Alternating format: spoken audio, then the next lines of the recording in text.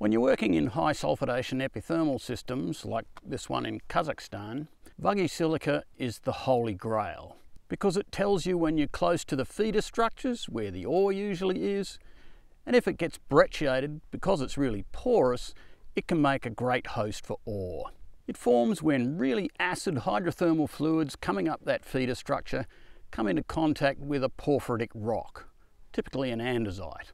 The feldspars first get altered to clay and then sometimes to alunite and then in the most extreme facies right next to the structure even that gets ripped out to leave a cavity.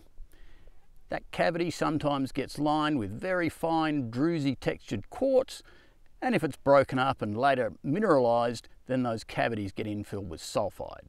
In this piece here, you can see some rectangular shapes after those feldspar phenocrysts, and they're particularly nice here because the insides of the cavities are lined with manganese oxides on the weathered surface here. So if I just break a piece off here, and on the broken face here, you can see that all these holes after the feldspars are completely empty. They're just lined with some very fine druzy quartz, but there's no clay or alunite filling up the holes. So this is the real deal, genuine Vuggy silica.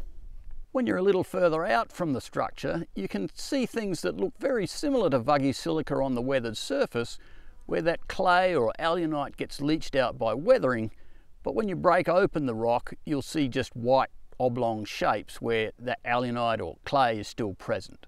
And here, about 100 metres away from that other outcrop, away from the feeder structure, there's a rock that looks pretty similar.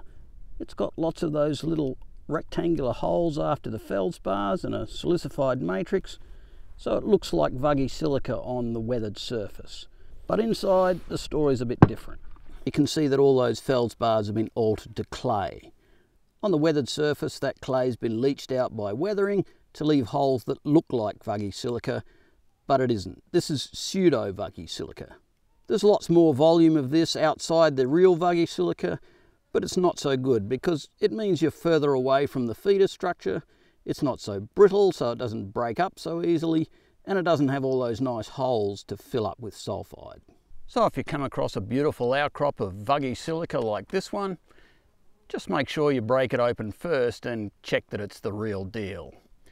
That'll help you to get a bit closer to those all-important feeder structures that are likely to have the ore in them.